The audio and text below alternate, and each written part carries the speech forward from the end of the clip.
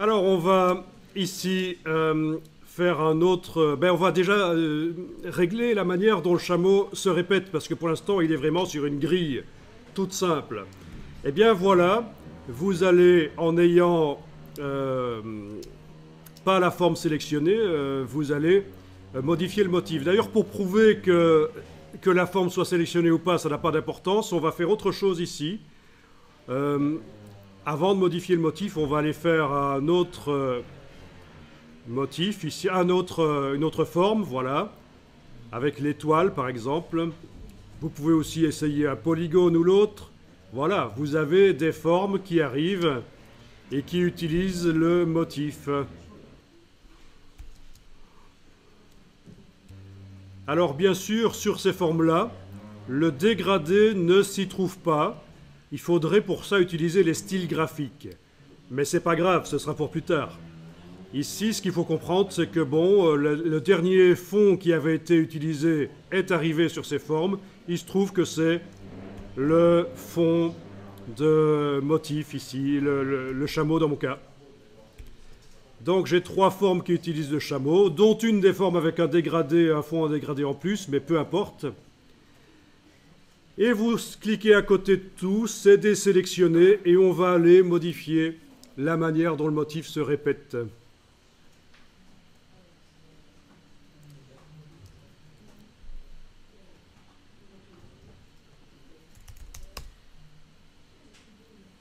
Et eh bien pour faire ça, donc en n'ayant rien qui est sélectionné, vous allez double-cliquer sur la nuance de motif dans le nuancier. Et qu'est-ce qu'on voit au centre de l'écran? Parce que si je me mets comme ça, voilà, ça vient au centre de l'écran. On voit le motif avec la palette de modification de motif. Vous êtes passé en fait en mode isolation sur le motif. Si vous regardez sur le dessus, on a le fil d'Ariane, le breadcrumb, avec possibilité de sortir de là avec la petite flèche. Mais là, j'y retourne en double-cliquant. Donc, le motif euh, original, il est là au centre. Avec la flèche noire, je devrais arriver à le sélectionner. Voilà. Il est là. Et tout ce qui est autour, ce sont des répétitions inaccessibles. C'est juste pour vous montrer ce que ça donne quand le motif se répète. On va ici euh, modifier l'espacement entre les répétitions. Vous allez pour ça, il y a différentes manières de faire, mais le plus facile, je pense, c'est euh, ceci. Outil mosaïque de motifs. Vous enclenchez ça dans la palette options de motifs.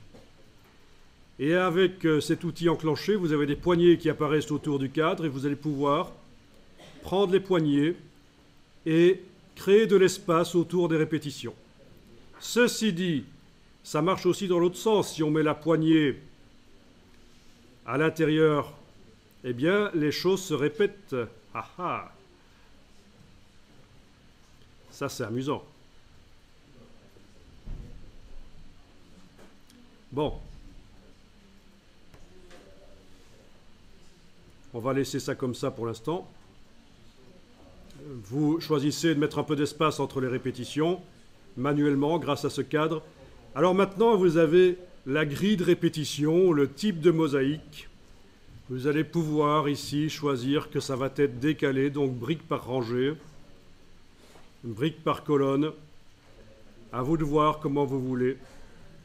On a même une répétition hexagonale.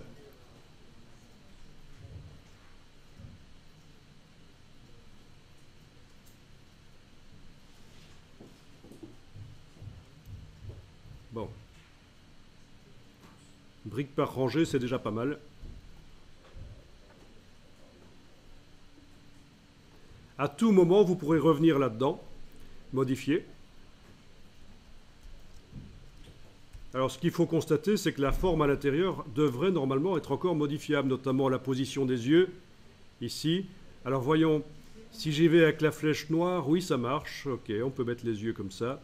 Je vais aller ajouter des petites... Euh, forme pour faire les yeux noirs.